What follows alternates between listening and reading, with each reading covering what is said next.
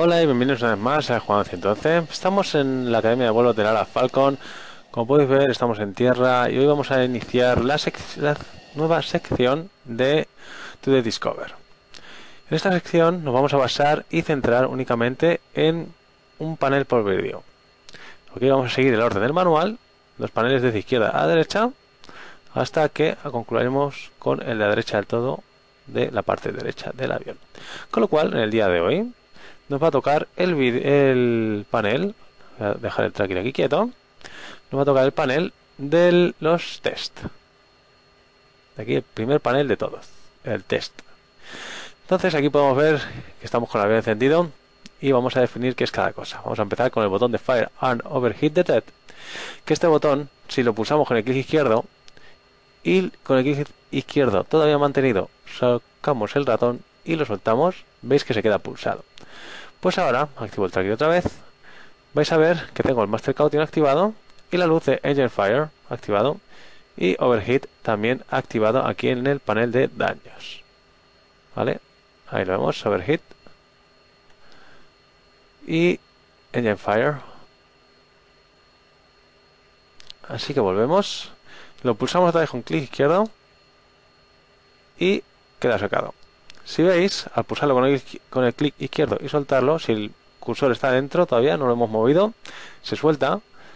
Con el clic derecho no hace nada, así que la manera más fácil es clic izquierdo, movemos la vista hasta quitar el botón o que el ratón salga de ese botón y ya podemos soltar el clic y vemos las luces.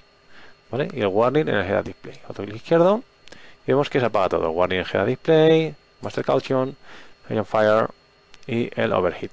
Este botón lo que hace es probar los sistemas de, de antiincendio del avión, el overheat como detalle, ¿vale? La sobrecalentamiento del motor nos lo va a avisar 100 grados Celsius antes de la señal de fuego en motor. ¿Ok?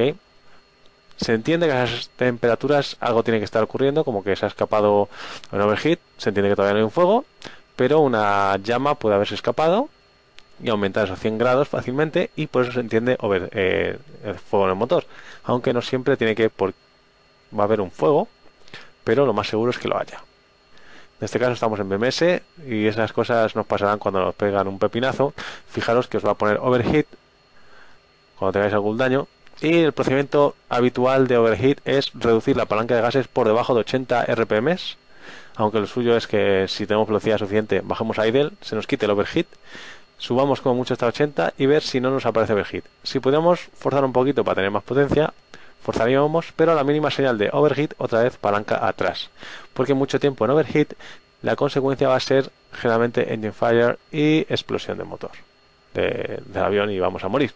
Así que nos plan. Otra vez vamos al panel, congelo tracker aquí y vamos a ver el oxygen Quantity, que está apagado. Esto simplemente es un botón de test. En algunos aviones F-16 veréis que aquí en vez de Oxygen Quantity va a poner eh, OBOX bit, que la señal, o sea, la idea de OBOX es Onboard Oxygen Generator System. ¿Ok? Y esto lo que nos va a hacer va a ser probar el generador de, de oxígeno, el generador de oxígeno, si llevamos el sistema OBOX, o simplemente la cantidad de oxígeno nos va a comprobar que funcionemos. Clic izquierdo, veis que hay que pulsarlo igual, soltamos el ratón para un lado y se nos queda. Y nos fijamos aquí, Oxygen Low, en esta la derecha, y se nos ha apagado, ¿vale? Lo voy a hacer otra vez, son 10 segundos, así que lo apago, lo enciendo y lo vemos rápidamente. Ahí ves que está activado, Oxygen Low. Tenemos que dejarlo pulsado hasta que veamos que la luz se apaga. Eh, lo dicho, si el bit se llamase OBOX, aquí también pondría OBOX en vez de Oxygen Low. Oxygen Low, ¿vale? Ya se ha apagado, así que podemos apagarlo, eso significa que está funcionando correctamente. Ahora vamos con el siguiente, que va a ser el Mail and IND List. Este nos va a activar todas las luces y todos los audios. Igual, ¿no? Clic izquierdo y sacamos el ratón. Y comprobamos todas las luces estén funcionando. Counter. Chat. Flare. Low. Out. Lock. IFF. Caution. Bingo. Data.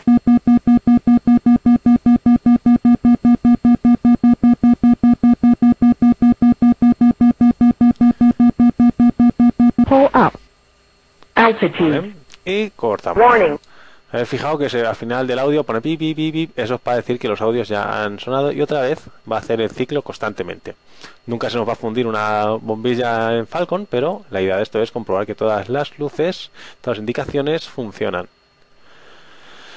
Luego el siguiente, aunque ahora ya está activado porque entré con el avión en taxi, lo normal en Ramp Star es que estén apagados. Recordar que no os estamos enseñando cómo se hace un Ramp Star, cómo se vuela, os estamos enseñando la funcionalidad de cada panel. Y si por algún caso tuviese alguna relación con otra cosa, también la enseñaremos. ¿vale? Probe que ahora mismo están apagados. Vemos que estando en apagado no tenemos ningún tipo de alerta en ningún sitio. Así que se nos puede olvidar fácilmente en la rampa no encender el Probe Heat. Probe Heat es el tubo pitot, el calentador del tubo pitot para que no se nos congele, en especial en altas temperaturas, altas, ah, valga la redundancia, cuando volamos alto. ¿Vale? Con las temperaturas bajas que no se nos congele. Entonces el test igual aquí el clic izquierdo nos sirve para subirlo para arriba y el clic izquierdo ya se nos queda aquí y aquí hacemos un clic derecho y baja, ya se nos queda ahí. Y nos iríamos a vemos ahí la lucilla de warning del Probe Heat está intermitente es que está haciendo el test y por ahora no hay fallos, ¿vale? Mientras esté intermitente, el test funciona. Aquí se nos activa Master Caution y está en intermitente. La apagamos y vemos que el Master Caution se ha apagado y la luz ha desaparecido. En caso de fallo, se quedaría fija, ¿vale? Sería la diferencia. Pero ya os digo que en Falcones raramente vamos a tener fallos al arrancar el avión, pero bueno, nos pueden surgir. Lo vamos a dejar encendido ya que estamos en encendido. Lo normal va a ser siempre encenderla antes de entrar en pista, ¿vale? Pero como estamos siempre en taxi para volar, pues nos aparecería encendida. Luego, aquí este botón que vemos aquí, veis que tiene por tres posturas, normal y la de mine, que mine no se puede llevar, ¿vale? Aquí el manual tiene una errata porque dice que este botón está en la posición de mind de mantenimiento por defecto. Pues no, está en la de normal por defecto. Si no estaríamos abajo y con el clic derecho no puedo bajarlo. Así que no está implementada la posición de mantenimiento, porque esto es para los mecánicos. Tiene la función normal. Y en el caso del test, vamos a ver que nos ilumina las cuatro luces de los canales. Saco el ratón, ¿vale? Si hago un clic izquierdo, veis que es momentáneo. Con lo cual tengo que sacar otra vez el ratón para simular que lo dejo levantado. Está comprobando que tenemos la tenemos po eh, power, electricidad en los cuatro canales del FLCR, ¿vale? de los mandos de vuelo. Eso es lo, que nos montaría el test. No, porque. Ah, esto sobre todo hay que hacerlo en baterías, perdón. Vale, vamos. Entonces, este también influencia. No, este que luego está relacionado. Vale. Entonces aquí vamos a cortar la batería, perdona, aquí en el panel eléctrico y veis que el Mind Generator y el Standby Generator están, ya lo explicaremos en su día, pero están eh, desconectados. Y con el test veis que, que, comprobamos que nos permite el paso de control como, como si fuera la batería la que nos da alimentación al sistema. Para comprobar si nos quedamos sin el generador principal, que la batería puede alimentarnos el, el FLCC, el Flying Control Computer. ¿Ok? Bueno, lo quitamos y ahora el EPUYEN que le puyen es otro de esos botones que hay que sacar el ratón para que se os quede puesto. Este funciona con el throttle, ¿vale? Así que vamos a pulsar los pedales, no lo vais a ver, pero hacerme caso, vamos a pulsar los pedales. Y aquí eh, va a estar vinculado tanto el EPU como el panel eléctrico. Ok, o sea, ya veis que empiezan a interactuar los sistemas. Pues este, este lo que va a hacer va a ser probar el, la generación de la EPU sin usar hidracina está funcionando. O sea, funciona, ¿no? Es capaz, es capaz de hacerlo. Pero sin consumir hidracina, la cual es muy tóxica. Entonces no es conveniente nunca usarla, salvo emergencia real. Entonces vamos a mover la palanca de gases más o menos sobre el 80%, pero bueno, la subimos lentamente. ¿eh? Vamos a comprobar. A ver, un poquito más esta vez. Vale, aquí lo podemos ir subiendo hasta que vamos que se cambian las luces de, de la EPU. ¿Veis? Ahí veis que se me ha activado aquí una lucecilla, luego aquí ya ha entrado un air, se activa la EPU y aquí tenemos las cuatro luces, ¿vale? Entonces todo se confirma.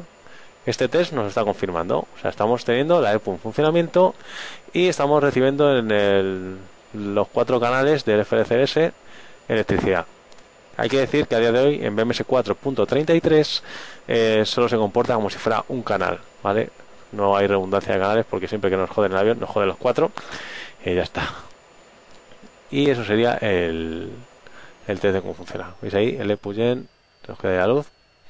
Si activamos batería, vamos para adelante. Veis que también entra en Air y funciona. ¿Vale?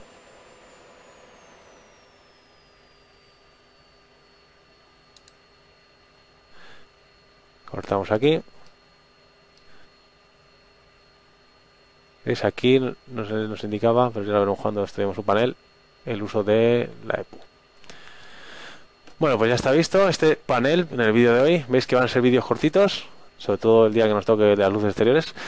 Así que espero que os haya gustado esta nueva sección en la que vamos a intentar desmenuzar cacho a cacho nuestro F16 panel por panel para hacernos más, mm, no sé, prolíferos en su uso. Así que sin más, un saludo y voy con el Juan 111 o en el cuadro que estéis. Un saludo y hasta luego. No se te olvide darle al botón de suscribirse y de seguirme en las redes sociales para no perderte las últimas novedades de mi canal. En la parte inferior encontrarás los accesos directos a mis secciones y vídeos anteriores.